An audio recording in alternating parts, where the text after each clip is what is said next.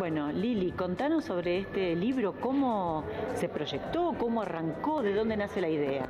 Nace la idea de la necesidad que había entre el, la familia yógica que estábamos haciendo la especialidad de niños en, crear eh, clases para niños, que era difícil. Eh, y bueno, con Norita Boscarol nos habíamos dado cuenta que como que nosotros teníamos herramientas para hacerlo y habíamos pensado en hacerlo juntas. Y después las cosas de la vida hizo que bueno, que yo lo encaré sola en la época de pandemia, me dediqué a, a, empezar a trasladar las clases que yo hacía con los chicos, eh, escribirlas, ¿no? a, a, pasarlas en limpio, a, ver bien cómo las podía organizar.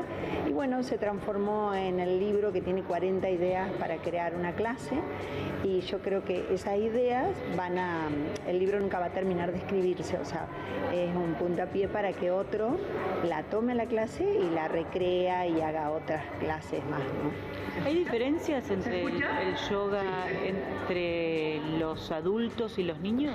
Sí, sí. Eh, es más descontracturada la clase. La clase, si bien tiene una parte de diálogo, una parte de, precalentamiento, de posturas, pero es más direccionado con juegos, ¿no? donde ellos van aprendiendo las posturas, van, van aprendiendo a respirar, a relajarse. Es todo más a través del juego, de los cuentos.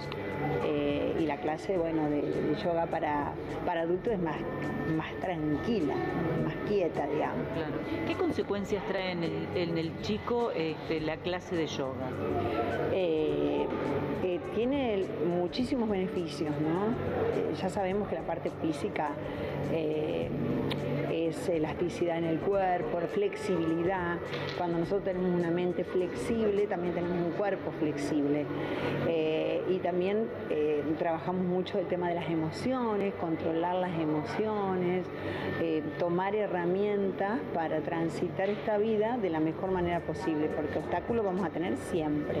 Entonces, bueno, hablamos con ellos de los enojos, de los miedos y le damos herramientas para que ellos puedan eh, tener esas herramientas a mano, que las conozcan, para hacerlo más liviano a lo que les pasa.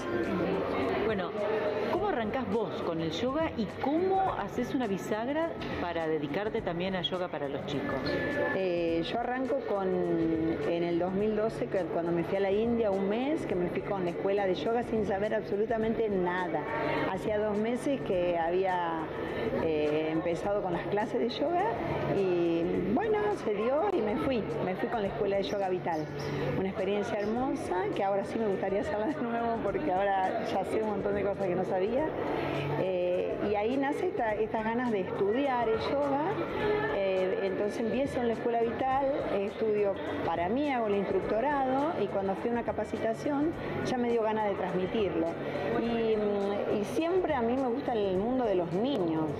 Eh, así que bueno, pregunté si ya no era demasiado grande para, para, hacer esto con los niños y me dijeron que no, que, que, no había edad para eso y que lo podía hacer. Así que bueno, eh, tenía que hacer el profesorado y después la especialidad niños, así que hice el profesorado y hice la especialidad. ¿Dónde pueden encontrar el libro? Todavía lo tengo yo. ¿Con Liliero?